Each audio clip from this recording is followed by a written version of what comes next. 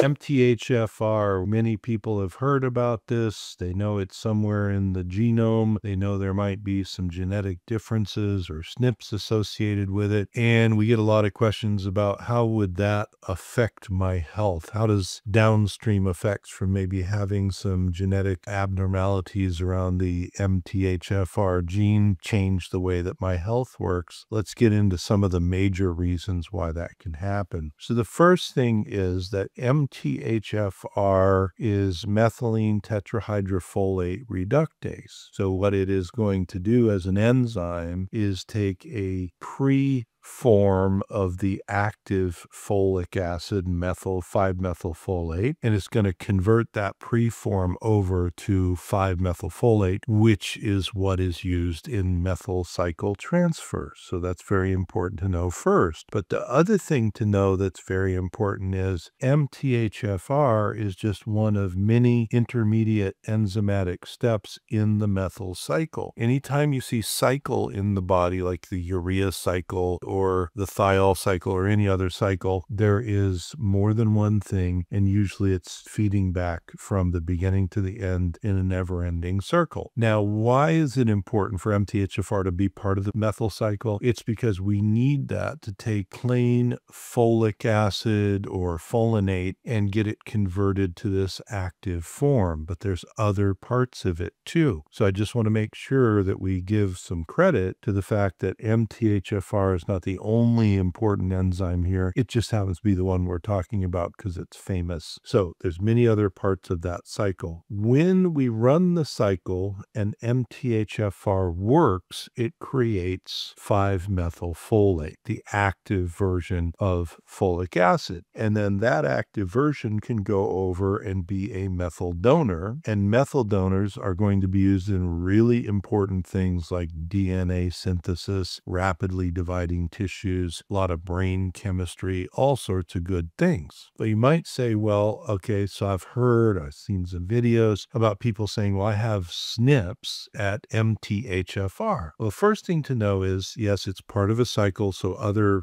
parts of that cycle may be feeding into dysfunction. The next thing is there's not just one MTHFR, there are different subtypes. And there are two kind of more studied ones. There's a C, a C prefix and an A prefix one. And what happens is a SNP is a single nucleotide polymorphism, and you get one from each parent, one side of each gene pair. And so what happens is if you inherit one polymorphism and the other is normal, so one parent donated a polymorphism that's not normal and the other parent donated a normal one, you have what's called a heterozygous pair there. So you've got half abnormal, half normal. If both parents donated to you an abnormal one, you have a homozygous pair, and that's two sides that are dysfunctional. Now, they're not not working, but they're dysfunctional. So, in studies where they've looked at single side heterozygous versus double side homozygous, you decrease whatever you're coding for as activity with a hetero one side by about 25 to 33%. If you have two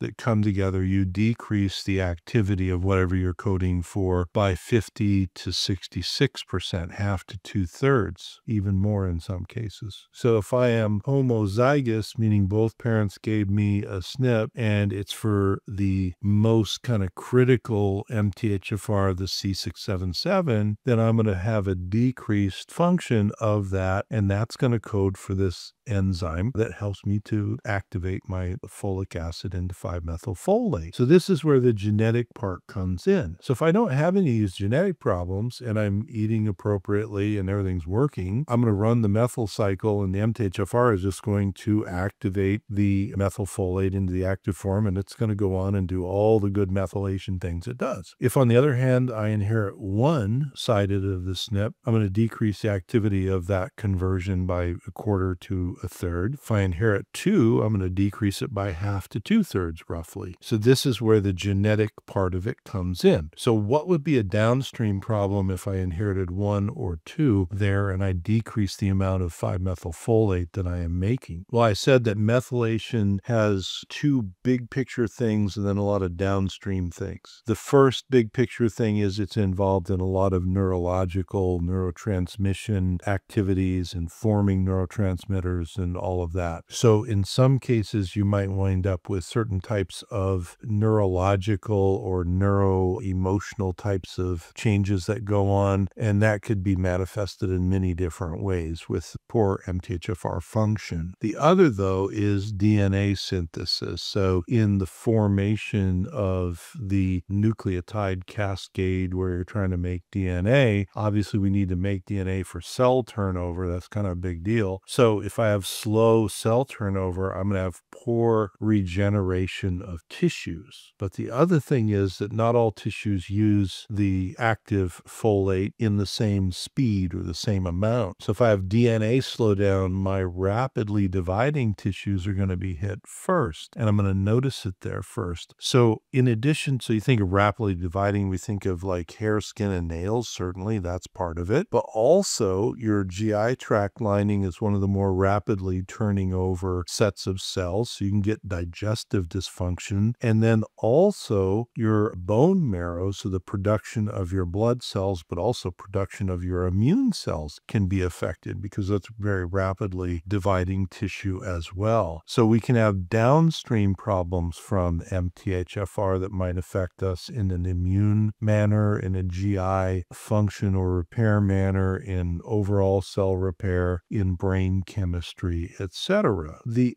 other thing that people notice, which is sort of a combination of a lot of these, is a slow methyl cycle, slow methylation through MTHFR might cause low energy states. Now, low energy has a lot of reasons why it happens, but this is one of the reasons for it. And so, helping in correcting the imbalances of MTHFR gene SNPs are helpful downstream for the health of the person. Another thing that methylation does through the, the activation of 5-methylfolate is to help to process homocysteine, which is an inflammatory mediator. And if I'm processing that, I have less homocysteine. I will have less inflammation that could affect the brain, the heart, the blood vessels, etc. All very good, all very important. So you might say, well, if I have genetic problems that's creating MTHFR slowdown, can I do anything about that? Answer is yes. So number one, you can eat